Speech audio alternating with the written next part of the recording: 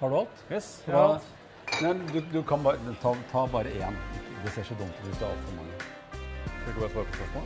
Eh, jo, men det, vi skal ikke drikke for mye. Bare, ta én. Åpne den. Hvorfor det? Jeg bare Hvorfor det? Det er ikke riktig, skjønner du? Skjønner du det? Det er fabelaktig. Hele poenget med dette showet det er at dere spør om et eller annet. For jeg har altså ingenting å snakke om hvis ikke dere spør om noe. Da skal jeg være så heldig at jeg skal ønske min kamerat velkommen som er med meg. Han heter Tore Sagen.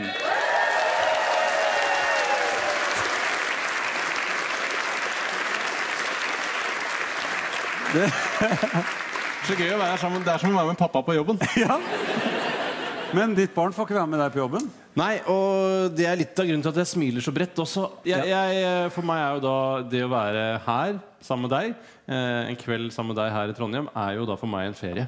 I og Ja. at jeg har to små barn hjemme, så jeg er veldig glad i dag. Men, men jeg, så, eh, jeg så at du Hun hadde også pakket For du sa det var hun som hadde pakket et, et, et innrammet bilde av seg selv ned i kofferten din. Ja, I håndbagasjen mitt så fant jeg et innrammet bilde av min eldste datter. Eh, som jeg selv ikke hadde pakket, for jeg følte det hadde blitt litt vel melodramatisk for Ja. en, et døgns reise. Adjø til Trondheim, ja.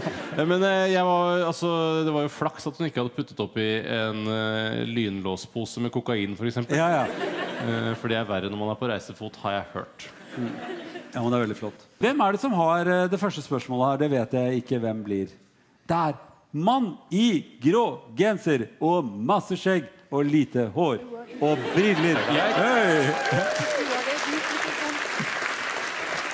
Dette er en bra mann. Kan jeg si noe først? Ja. Jeg tror du brygger ditt eget øl. Det stemmer. ja. Fordommer! Jeg elsker fordommer! Hvor, hvor fikk du det fra? Var det skjegget? Jeps. Ja. Eh, ok. Hva, hva er det du heter? Uh, Jeg heter Erik. Erik. Veldig lett å huske. Ja, Hva er det du lurer på? Uh, jo, det er et uttrykk som heter 'Nå må du få ut fingeren'. Ja. Og jeg lurer på hvor skal jeg få ut fingeren fra? Ja. Dette var veldig, veldig jeg, jeg føler at det var mye mer personlig enn jeg håpet det skulle være. Jeg har jo alltid med dette med fingeren eh, Både få ut fingeren og stikke fingeren i jorda. Jeg syns alt med finger er rart. Ja. Uh, og jeg tenker jo alltid at fingeren Bare for å gjøre det unna med en gang Alltid tenkt at den har vært oppi i, i rumpa. Ja. Uh, og det skjønner jeg at det er ikke det det handler om. For det er ikke sånn noen som sitter med fingeren i rumpa. Uh, må du få fingeren ut av rumpa og komme meg og hesje. For det er fra gammelt av, da. Ja, ja. Men jeg hadde en bestefar som, som sang følgende sang. Kalinkalå, kalinkalå, stikk fingeren i rumpa og gå. Og den kom jeg på nå at det var, det var en veldig rar sang. For jeg har aldri tenkt på rar bestefar, ikke minst. Ja.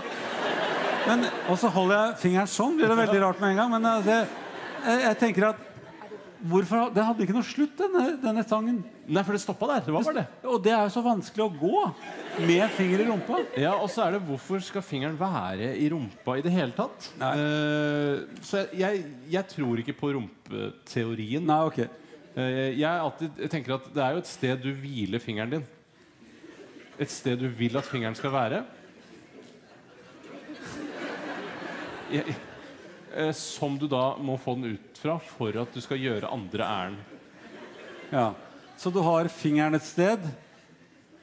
Kan det være flere steder, eller er- er det ett sted? Det er jo ti fingre, så det er jo ti steder du kan ha Ja. Og så sier noen andre Nei, nå må du få ut fingeren. Du kan ikke stå der og kose deg. Nei, for du koser deg med fingeren som du Ja. har et sted. Ja, For du liker jo gjerne å ha den der. Ja, Det er ikke et slags kosehull eller noe? Ja. Fra gammelt av? Og da er vi tilbake igjen til der vi begynte, Ja. nemlig rumpa. ja. Altså, det er som de sa til meg alltid på skolen. Eh, du har tenkt bra, men svaret er feil. Ja. Og, da, og det er det jeg er kommet fram til også. For jeg tror at det handler mer om munnen. Jeg tror det er totten. Suging på totten. Ja, nei. Nå må du få ut fingeren, holde på totte og ut og gjøre noe. Som en, som et ordentlig barn. Da blir det brukt Ja, for det brukes til, jeg føler at det også kan brukes til voksne. Og det er derfor jeg har eh, søkt mot rumpa i alle disse årene. Ja, Men det er kanskje først og fremst et jeg tror det er et barneting. Ja, Eh, På, på spansk så sier det 'quita la chupa', okay. som betyr 'få ut totten'. det gjør det. ja. Det var veldig rart at jeg kom på det også, men eh, Det er sikkert bestefaren din. ja, det er nok det. Men da, og da tar det, det er damer som sier det på spansk. Oh, ja. Og da tar de også, For da står et barn med totten, og så, så tar de liksom Du har totten der. Så sier de. Ja. Så sier de det strengt og litt sånn slemt dameaktig. Ja, har du noe mot kosing av øreflippen? Er det noe på Nei, det er, det er, det er ikke å ta bort fingeren. Det er. Ja, men jeg pleier ofte å kombinere det med kosing av ja. øreflippen. Ja, da er vi langt inne i Og så kosing litt grann sånn også. Ja. Når jeg er alene på rommet mitt. ja. Nei, jeg veit ikke. Eller så er det kanskje fra rørleggerbedriftene som hadde det. Nei, nå for å få ut fingeren, nå må vi gå. Ja, og da, Fordi det var da en lekkasje som han satt og ja, trykka på? ja. Få ut fingeren, nå stikker vi. Altså, er, er du sikker? Da vil du jo Ja. ut igjen, da. Ja, de har betalt allerede. Nå drar vi. Ja, ok. Ja. Er det flere spørsmål? Der. Mann i rutete skjorte med skjegg som lager øl sjøl. Det er samme. Hva?! Er det, noen, er det bare pulver? Eller lager du ordentlig øl? Nei, jeg lager ordentlig øl. Mener du at det fins instant øl? Altså, som bare Ja, jeg tenker her. Det må jo være alt som blandes med vann likevel. Ja, det er det. Og så bruser det. Eh, Hva, hva, hva lurte du på?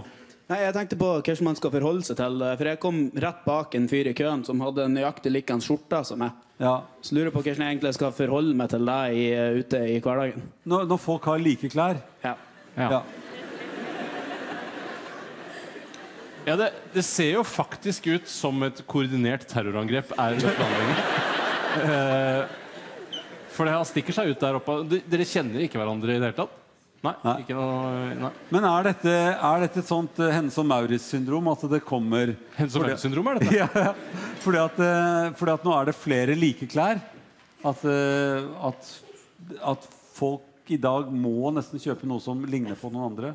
Ja, det er jo fristende å sy sine egne skjorter, men da Er det det? Er det ikke det? Ja, i, i ett henseende er det fristende å sy sine egne skjorter. Eh, og det er da eh, for å unngå situasjoner som dette.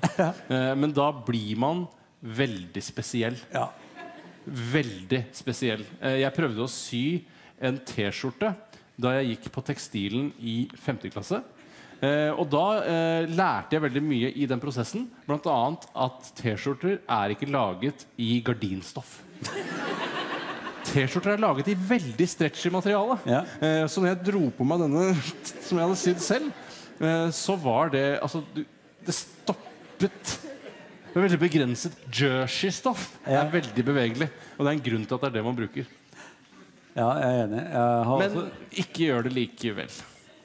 Ikke Eh, sy dine egne klær. men eh, skal man gå så langt at man får sydd, sydd skjorter som ikke er sånn som andre har? Ja, da må, jo, jeg sy da må man jo begrense et geografisk område, eller et demografisk område. Eh, for man kan jo ikke skil ha en skjorte som ikke ligner på noen andre skjorter til noen andre i hele verden. Så det må være Trondheims unik skjorte. Du trenger ikke noe mer unik skjorte enn det. Bare ingen her i Trondheim som har den samme? Ja, og For det som ser utover her, så er det jo veldig få som har helt like skjorter. Ja, det er nesten bare dere to som skiller dere såpass mye ut med det sjakkmønsteret som dere har Men det er, når de stiller seg rett bak hverandre, så jeg tror jeg gutter eh, tenker litt sånn Ja, jøss, det var jo rart at vi hadde helt like skjorter. Who cares? Og så går de videre. Ja. Damer tenker litt mer sånn Skal jeg gå hjem og skifte? For at det, at det kan bli litt krise. Ja, men Nå har jo han tydeligvis noen feminine kvaliteter siden han Ja. denne problemstillingen. Og det er flott å vite. Ja, og jeg, for jeg ville nok sakket rolig bakover i køen. eh, og i Ikke med skjortskjorte. Eh, ikke med skjortskjorte, men eh, Med skjort, Med- hva, var det, hva sa jeg? Skjort. skjortskjorte. Ja, ja. Eh, med med eh, rutete skjorte så ville jeg og Var det en enkelt kø? Var det bare én og én? Eller var det liksom en sånn massekø? Det var eh, litt sånn klumpformasjon. Klumpekø? Da, da ville jeg gitt det eh, meter halvannen. Ja. Meter halvannen tror jeg Du ville gitt det såpass slakk. ja, Så forfengelig er jeg. Ja. Ja. men men det, det, han tar jo en sjanse allerede når han har valgt det mønsteret. Ja, bare det han gikk inn på Hense Maurits, så tok han jo en stor sjanse. Eh, men jeg, jeg tenkte jo Jeg hadde faktisk tenkt litt at det var modig. For det er jo ingen andre nest, Det er ikke veldig mange rutete skjorter her nede på gulvet. I hvert fall ikke i samme type. Og det er veldig mye rutete. For det, men jeg merker at dette her, her har jeg aldri tenkt på sånn i, i crowd uh, facilities. Uh, at, at liksom man kan se trender. Nei. Men jeg ser liksom at det var mer ruter i fjor. Ja, var det det? Da du var her i fjor, ja. Så eh, jeg vil da si at ruter er muligens på vei ut. ja. Men Så vil jeg du vet skille da deg ut, faen da? hva som kommer inn altså, isteden. Men vil du skille deg ut, så er kanskje ruter veien å gå nå? da hvis Ja, det er ja, så da, fase sakte ut. hvis du tenker sånn, så ville jeg tenkt jeg holder på den rutete skjorta. Ja. Jeg prøver et år til. Ja.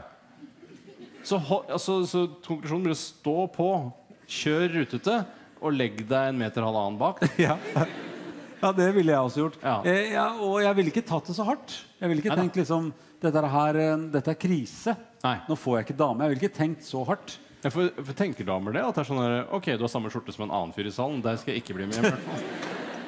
Nei, Og det tror jeg ikke menn gjør om damer ellers. Altså de, de behøver ikke gå hjem og skifte, de heller. Jeg, jeg får være helt ærlig det er litt, Hvis det hadde vært to uh, damer hvis det, La oss si jeg skulle sjekke om med damene Selv om det aldri kunne komme til å skje igjen. Mm. Så, og de hadde hatt to påskegule kjoler, eh, og gikk rundt alle snakka om at de hadde like påskegule kjoler, så det hadde vært litt flaut å ta med en av dem hjem. Ja.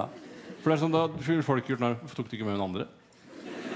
Jeg vet ikke. jeg. Ja, du, eller du får beskjed om at du tok med en av de med påskegull. Ja, for det, Tore ble med en av de med påskegul kjole hjem. Ja. Og det er, det er sånn å disse dama di. Ja, det er det, for det, Da snakker man ikke om de andre kvalitetene hun eventuelt kunne hatt. Utover at hun har gul kjole. Nei, det er helt riktig. Jeg merker nå at nå er jeg for langt inn i motebransjen med en gang. Jeg, kan- jeg kan alt, alt, altfor lite om det. Flere spørsmål? Her! Og han får mikrofonen nå. Hva heter du for Hallo, noe? må jeg reise meg, eller eh, kan jeg bare sitte? Vet du hva, Jeg skjønte ikke verken dialekten eller hva Eller hva han het. Ok, Ikke jeg heller. jeg reiser, jeg reiser meg. Hei, hei. Hei, hei! Begynner, det er i hvert fall nord for Trondheim oppover. Fint. Eh, eh, kan du si navnet ditt? Var, Ola heter jeg. Ole. Så det var ikke verre enn det. Ola var det. Ola. Ola, altså. Ola. Fint. Hva, flott, Ola. Så gul skjorte du har, gitt. Ja, gul og grønn. Ja, gul og grønn. Eh, Og du tenkte ikke på at den kan jeg i hvert fall ikke ha på meg? Jo, jeg vurderte faktisk det, men jeg tok bare det nærmeste som var, så ble det sånn. Supert. Eh, hva er det du lurer på, Ola? Det er et navlerelatert spørsmål. Nei, Vi må ta det litt roligere. Vi må ta én setning av gangen. Jeg får høre at ofte snakker for fort. Vi tar det rolig. Er navlerelatert? Navle, jeg har egentlig, Vi har flere navlerelaterte spørsmål. Ok. Tar ett. Ja. Enkelte navler lukter ganske guffent. Andre, slik som min, lukter helt ok. ja. Hva er det som gjør at navle lukter guffent? Eh, første del av analysen går på hvordan i all verden klarer du å lukte din egen navle. Jeg liker det.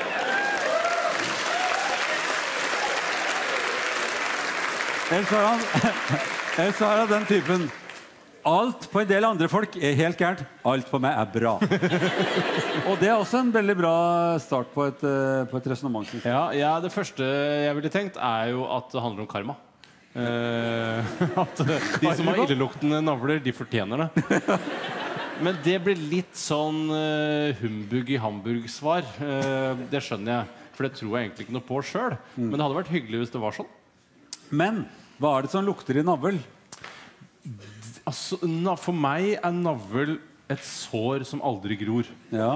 Eh, og hvorfor ikke det gjør det, det fatter jeg ikke. Det burde jo vært helt glatt. Så mye finere vi hadde vært hvis det hadde vært helt glatt der. Eh, hvorfor gror det ikke? Det gror jo. Når da? Nei, det er jo grodd på deg, f.eks. Det har ikke I know. ja, Altså, det væsker eller blør ikke noe særlig. Nei, der har du det. Ja. For at I starten så væsker det jo litt. Grann. Ja. Eh, for det er, jo, det er jo forbindelsen med din mor eh, som er kuttet av, og så råtner liksom den ytterste delen. Og så sier den innerste delen nei, nå, nå lager vi et lite skille her. Og så lukker det et slags lokk. Og, og dermed så blir det bare en streng, det som er igjen. Altså et rudiment, som det heter på gammelt. Er det Jeg vet ikke hvor oppdatert du er på På navl? På, ja, navl og plastisk-kirurgiske trender. Men er det, er det noe, har det vært noen trender på tiden? Og glatte Ja. helt over? Det har vært eh, Hente skinn fra rumpa og bare Å nei, sånn nei. Ja. nei det, det har ikke vært noen trend For det har jeg lyst til å Ja. gjøre. Og glatte over. Jeg har lyst til å sparkle. Ja. Helt glatt. Gjerne sånn ly, altså, hudfarget akryl er det egentlig jeg har lyst til å bruke der. Ja. Få det glatt. Jeg, vil, jeg vil være så glatt som mulig. Ja, jeg skjønner. Eh, Navlen er i grunnen en eh, litt sånn ruglete del av huden din. Ja. Og punktum finale. Noen har sånne utovernavler som er veldig utover. Ja. Og det kan jo være at de ikke har organisert seg som de gjør på en del andre, hvor det bare snurper seg innover. Så er det noen som har ganske dype navler. Og så er det noen som lurte på hvorfor det alltid blir lo i navlen. Eh, og det har nok noe med det spørsmålet du eh, kom, Ole, at eh, lo og dritt og bakterier som får være på et sted ganske lenge, det ligner på et kjøleskap hvor man har matrester som man ikke har spist på lenge. Det vil etter hvert lukte. Ja. Så hvis du har kj- kjøleelementer inni navlen, så vil det holde holde lenger. Da kan det holde en liten stund. Hvis du, har, altså, hvis du varmer opp gammel mat som ingen vil spise, Ja. så gror det plutselig mye bakterier på det. Hvis man, eh, jeg har jo selv innovernavl. Føler at Ja. det er ganske vanlig. Jeg har en liten tapp der inne, men den ble litt borte etter hvert som jeg la på meg litt rundt magen. Er det sånn at jeg kan slanke meg til utovernavl? Nei. Det er godt tenkt, men det er et dårlig svar. eh, så eh, eh, det rare her ved dette spørsmålet er jo Olas egen opplevelse. Ja. Jeg lukter perfekt. Ingenting. Eh, eh, og da jeg ville lurt på, uten at jeg kjenner han godt nok, om det er han selv eller noen andre som har luktet det. Tror du det kunne vært lurt å ha en bitte liten eh, roll-on-deodorant som man kan bruke i navlen? Jeg ser ikke poenget. For å bekjempe vond lukt? Nei, for det er ikke sånn du bekjemper vond lukt. Nei, Du tar, det du tar, tar ikke en roll-on om, om gammel mat, nei. og så lukter det ingenting. Det er ikke sånn det fungerer. Så jeg, jeg, ville, jeg, jeg, håper du er fornøyd med det svaret. Jeg, du har et godt selvbilde, Ole. Eh, eller de, de, det er mange som liker deg, som snuser deg i navlen. Eh, Og de er veldig Kan hende han truer de til å si at det lukter Ja, ja. godt. så det lukter godt, ja. ja. Flere spørsmål? Ja, bup, bup. Er det noen damer her? Eh, Ja! Der var det en dame. Hva, hva heter du for noen ting? Jeg heter Trine. Ja. Hva lurte du på? Det jeg lurer på, det er på en måte Da jeg var yngre og vi feiret bursdag, eh, så bakte man gjerne kake, eller man hadde litt servering. Og da var det på en måte aldri noen som hadde glutenallergi, laktoseintoleranse osv. osv. Men hvis du inviterer til noe selskap nå, så må du liksom alltid ta hensyn til de der eh, som har en eller annen type allergi. da. Så hvorfor er det sånn at det er så mange flere i dag som har allergier mot ting? Er, er dette ting som du blir irritert av, f.eks.? Litt. Ja, der har vi det. Helt til den dagen du sjøl blir urolig i magen og får verdens snodigste diagnose. Cøliaki. eller Norges rareste ord. Om Ja. jeg får lov å få Cøliaki. Altså, du har C, du har Ø i samme ord. Og jeg gir deg Ø. Og jeg slenger også en I i posen. Nei, det er ikke mulig! Cøliaki. Og det er vel soeliakie? Ja, det tror jeg er gamleformen. Det er gamle, ja, moderniserte nå. Ja. Og skriver Sueliaki hvordan man gidder. Ja, ja, du gjør det litt. S-Ø-L-I-A-Ki. Er det noen grunn til at den sykdommen kan skrives på en så tullete måte? Ja, den er jo igjen dette gamle franske Ja. som har kommet via det, det romerske. ja. Sueliakia. Men de var veldig radikale da de la ø-en inni der, syns jeg. Nei, det er en OE. Ja, men det er lov med ø nå. Ja, ja, ja. Jeg har sett det er galskap. Du har sett det? Ja. Har du ikke sett det, Trine?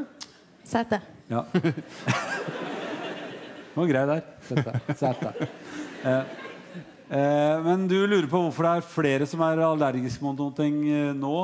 Og det var kakebransjen vi snakket om. Ja, jeg tenker liksom er det, det føles jo nesten litt som en trend, da. Ja, det er jo det. Ja. Og så, jeg synes jo det er litt jeg, jeg, jeg har jo valgt å ikke kaste meg på denne trenden i så stor grad. Allergitrenden. Allergitrenden, ja. Ja. Og glutentrenden og laktosetrenden. Eh, litt fordi jeg ikke skjønner hva det er for noe. Men, men det er også litt deilig eh, når man kommer hjem fra selskap, og så blir man veldig urolig i magen. Og går på do og tenker sånn der, Faen i helvete, altså. Det er noe gærent med meg, da. Ja. Eh, og så eh, er så, altså, eh, så er det noe gærent med meg, da. Ja. Hadde du en liten blackout nå? Ja, det kan du godt si. Jeg, f- jeg tror jeg fikk i meg noe gluten på Gardermoen. Så jeg ble så dårlig. Men, men eh, for det, for det at jeg hjelper deg litt igjen med resonnementet. Få høre. Jeg vet ikke hvordan det kan hjelpe deg ut av det. Men eh, fordi at i, akkurat med, med gluten så er det jo det er jo, det, det, det, er jo noe av det gøyeste som fins i spagetti, er jo gluten. Ja. Ellers hadde det ikke blitt spagetti. Det hadde blitt saus. Eh, og, eh, og, og, og noe av det morsomste med gluten er jo at du får gjær til å heve seg. og alt det der, der som Ja, det er det gøy med bakverk. Eh, så når glutenbrød har du sett det Altså glutenfrie, eller? ja, det er ja. grusomt. Glutenfri er jo ikke noe gøy. Så er det noen som blir så sinnssykt syke av det. Men så er det noen som tror at de ikke tåler gluten. Som f.eks. de ba glutenfritt vann. Skjønner? Men hvorfor har denne svakheten blitt en dyd? Nei, jeg tror ikke det er en svakhet. Jeg tror folk er ganske sterke som de er. ja. Ja, men hvorfor, de. er det så, hvorfor vil man så gjerne ikke tåle gluten? Dette uhåndgripelige, snodige, rare fenomenet? Jeg tror, eh, min teori, og den er jo også preget av hva jeg tenker på Den er, er jo at det er noen som er ordentlig glutenallergikere, og jeg vet hva det er for noen ting. Men så er det noen som tåler gluten, men som egentlig føler at det er litt mer trendy å være glutenfri. Ja. Så at de tror at gluten på en måte har noe med Med noe annet skummelt å gjøre. Ja, så, og så høres det litt ut som et organ også. Jeg har så vondt i gluten. Nei. Ja, men det er Men det er for oss eh, som ikke Du tenker på glutenmuskelen? Glutealmuskelen? Er det det jeg tenker Ja. på? Det er rumpe jeg tenker Ja, der er vi der med fingeren igjen, vet du. Ja, selvfølgelig. Jeg har fingeren langt oppi gluten. Ja, ja. Du skulle hatt litt glutenfri Det er det, det, jeg skulle ha. Eh, så, så at noen av de som er eh, tror de ikke tåler gluten, de veit ikke hva gluten er. De har ikke prøvd noe gluten som de tåler. holdt jeg på å si. Ja, for hvorfor, eh, I og med at det liksom ikke er så innmari farlig, hvorfor prøver ikke de som er glutenallergikere, bare å spise rent gluten en hel dag og se hvor ille det kan gå? Ja. For du tenker at da Da får du altså, bevist en gang for alle at Ja. Gud, dette tåler ikke jeg. ja. For idet det du da går en hel dag altså, jeg, er ikke noe stor på forskning og sånne ting. Det er ikke noe flink mm. på metode og sånn. Men hvis du spiser bare rent gluten en hel dag mm. og drikker ett glass med saft, så vet du ikke om det er safta som gjør deg dårlig. Nei, det er riktig. Det er forskning. Ja, det er god forskning. Ja, det er god forskning. Eh, det er dårlig forskning, men det er forskning. Men det, er, det gjør ikke noe. Det er ikke så farlig for meg. Men eh, fordi at eh, gluten har jo den evnen at den er en sånn ting som kan irritere i tillegg til noen andre ting. Og det kan også laktose gjøre i tillegg til andre ting. Så det kan være mengden av gluten du ikke tåler, og det kan være mengden av laktose du ikke tåler. Hvis du blander gluten og laktose, hvor, altså, er, får du en livsfarlig cocktail da? Ja. Ja, det er ikke like farlig som cyan, liksom. Nei, det Nei. Men, men er det da eh, Jeg som da ikke er intolerant overfor disse to produktene, kunne jeg levd bare av gluten og laktose? Jeg tror du gjør det mye. Jeg spesielt, eller? Ja, tror- altså, du drikker jo melkeprodukter som ikke er eh, laktosefrie. Men bare ren kjemisk gluten og laktose? Å ja, bare laktose. Hvis jeg hadde lagd små baller bare av gluten og laktose, og spist fem baller hver dag som den eneste dietten jeg hadde Da ville tarmen din sagt 'Hva faen er han driver med nå?'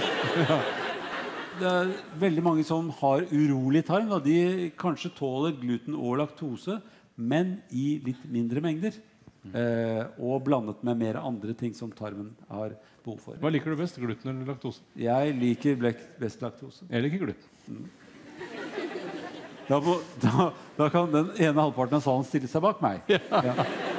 Eh, flere spørsmål?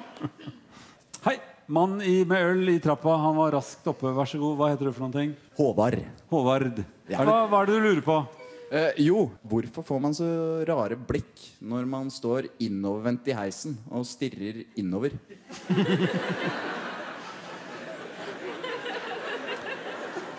Eh, kan du hjelpe meg litt? Grann?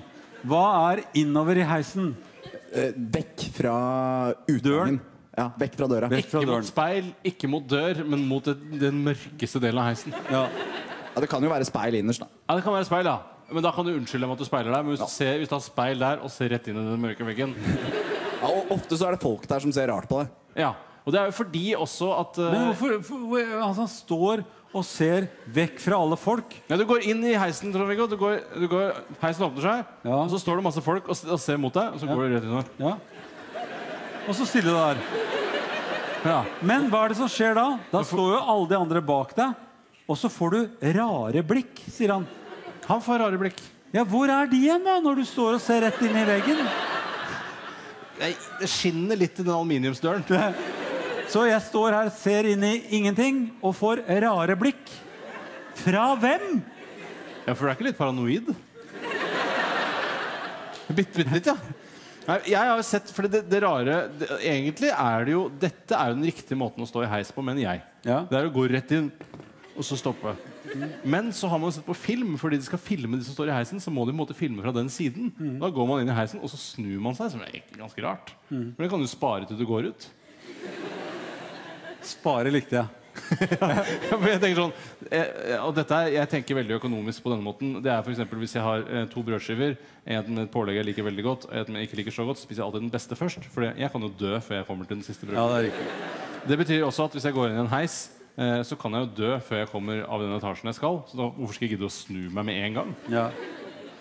Så jeg syns jo det er det riktige, å stå og glane rett inn sånn. Så jeg syns vi sammen skal starte en bevegelse hvor vi, hvor vi snur oss i heisen. Men det, det rare er jo at det, det, her har det skjedd noe på heisfronten. For når man går inn i en heis nå, så er man jo egentlig mye mer ute. Og det er mer åpen når man kommer inn. Det er glass ofte. Man ser ned masse etasjer. Hvis du ikke skal nedover, da, da ser du opp masse etasjer. Eh, eh, men, men Så man står ikke innerst hvor det ikke er noen ting. Man står ut, ytterst. Du går veldig sånn Du går veldig sånn ja-heiser, du. Jeg går i glassheiser veldig ofte. Du er mer på senter og ja, Jeg går på senterheis. senterheiser. Og på, på moderne, moderne Det er en dyr. Du går ut, og så, og så kan du se utover hele senteret. Ja. Eller atriet, liksom. Ja, Ja. ja. Og da ville ikke jeg snudd meg, for da ville du fått masse blikk mot meg. Å, hvordan kan du få de blikkene? Kan de se deg? Ja, nei, Det er litt sant, men da har du en annen heiskultur. Men tar du aldri triste, litt sånn mørkere heiser? Nei, Jeg liker ikke heiser i det hele tatt. i utgangspunktet Men hvis jeg skal ta heiser, så liker jeg de som er litt mer utadvendte. Ja. Ja. Og hvilken vei syns du det er best å stå da? Eh, det, å si, det kommer an på hvem det er som det lukter verst av navla til. Ja. Men jeg hadde egentlig så hadde jeg lyst til å si at jeg, jeg syns det er litt vanskelig å, å, å stå Jeg har stått nå. Så kommer jeg inn i heisen. Og å stå sånn uten å ha noe på hjertet Er det bedre å prate når man er i en sånn Nei, så, nei, det er nettopp det at vi står for tett, og så skal, Hvis jeg skal står sånn, er det noe bedre da, egentlig? Nei, det er, ikke, det er ikke bra, det heller. Så heis er i utgangspunktet ikke bra. Så, det Sånn, her er det beste er vi kan dette er stå. fint, ja. Og så tar jeg da da dulter jeg borti innimellom. ja, men Da kan jeg sånn, bare ta opp telefonen og holde på med den. Ja, men jeg ser jo hvilke nettsider du er på. Ja, Men det, det ville vært veldig rart eh, hvis jeg ikke hvis jeg hadde stått sånn klønete. Du er enig i det? Jeg er Jeg kjenner deg ikke, du kjenner ikke meg. Ja. Hvorfor i all verden står vi så nær hverandre? Det blir veldig intimt, ja. Ja, men det er jo veldig mye plass her. ja. For vi ikke er i en heis. Det som kunne vært fordelen var hvis du var 20 cm lavere og jeg enda litt høyere. For da hadde du på en måte ikke hatt det problemet. Nei, ja, Da hadde ikke vi hatt noe med hverandre å gjøre. det Det hadde ikke, I hvert fall ikke jeg. Nei, nei, Og ikke jeg heller. Jeg hadde bare sett, da. ja, jeg hadde ikke fått noen rare blikk. Det er sant. Ja. Bortsett fra navlen. Og med det syns jeg vi har rota det nok til, og øh, takke dere for at dere var her. Ha det godt.